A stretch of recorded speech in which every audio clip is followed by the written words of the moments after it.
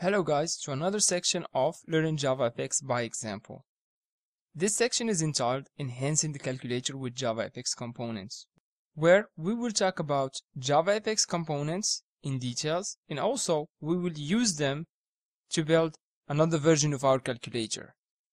So in this section we will talk about layouts, controls, events, also how to add menus to an app and lists in table views.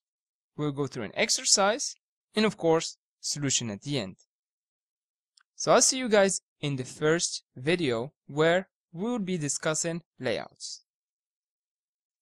What is a container or what is a layout? So with JavaFX container or a layout pane is how the UI components are arranged inside the container, which as its name suggests contains and holds all the components. So, what is a container or a layout exactly? It is how the UI components are arranged inside the application. And since one way to organize all the elements is not going to be enough to respond to all developers' needs, JavaFX offers some predefined containers or layouts like the anchor pane, the stack pane, grid pane, border pane, H in VBox, which stands for horizontal and vertical boxes. So let's see how we can use all of these in real life. Let's start by opening NetBeans and let's create a new project for our enhanced calculator. This project also will be FXML based. So let's click on File, New Project, click on Next, and let's call it JavaFX calculator. Let's rename the fxml document to calculator. Let's click on finish and let NetBeans create it for us. Let's open our project, go to source packages and double click on calculator.fxml. As usual, let's remove the button in the label. Let's make our anchor pane a bit bigger and as you can see here, you have containers, controls, menus, shapes, charts, etc. So now, let's try to play with an anchor pane. We already have one. So, as its name suggests, the anchor pane anchors all the UI components or elements that you add to it to a distance from the pane. So let's say, for example, want to add a button to it. It will position it exactly where we want based on x and y coordinates. A stack pane, on the contrary, is a bit different because it will stack everything on top of each other. So let's remove the button right here, make the stack pane fit to the parent, and let's try to add some controls and see how they will behave. So let's add a button, let's add a checkbox, if I drop the checkbox here on an anchor pane, it will stay where it is. But on a stack pane, as you can see, it all goes to the center, one on top of the other. Now, let's check a border pane. Let's remove this checkbox right here, stack pane. Okay, let's add a border pane now and see how we can use it. So let's drag one, drop it here, make it also fit to parent. Let's hold the button drag and drop it and let's see the result. So here as you can see the scene builder helps me put this one on top, left, right, bottom or on the center. So I can put a button in here. I can also take another one, put it to the left, etc.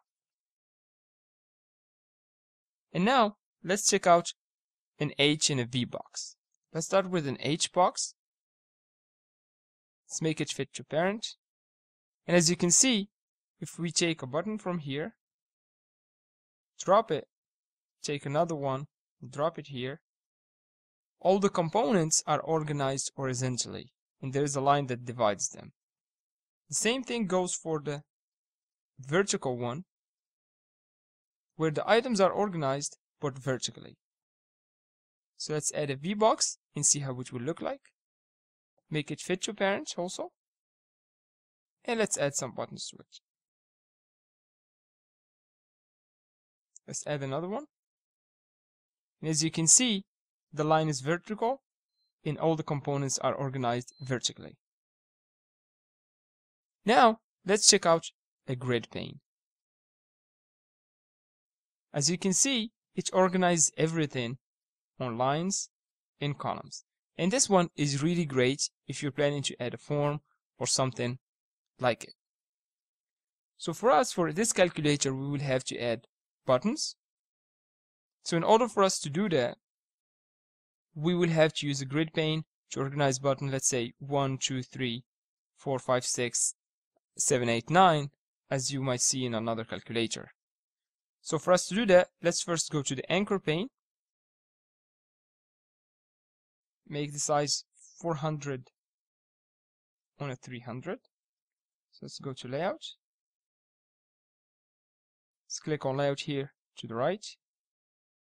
And here make it 400 on 300. Great. Now, let's add a grid pane here. Or first, let's remove the V-box because we don't want to use that. So let's add a grid pane here. And let's go here. You see, this is called the anchor pane constraint. For example, put 0 here. So this element will have 0 space from the right side. Let's also make it have 0 space from the left side. And 0 from the bottom. Cool. Now, from the top, let's just give it an 80.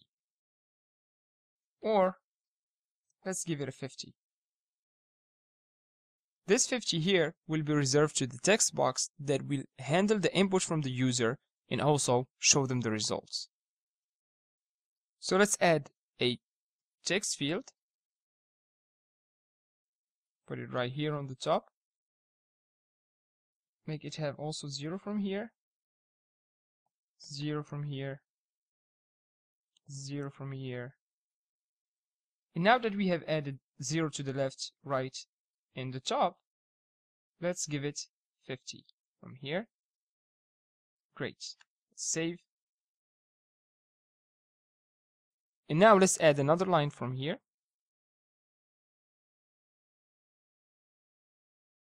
Because we want our grid pane to be 4 by 4.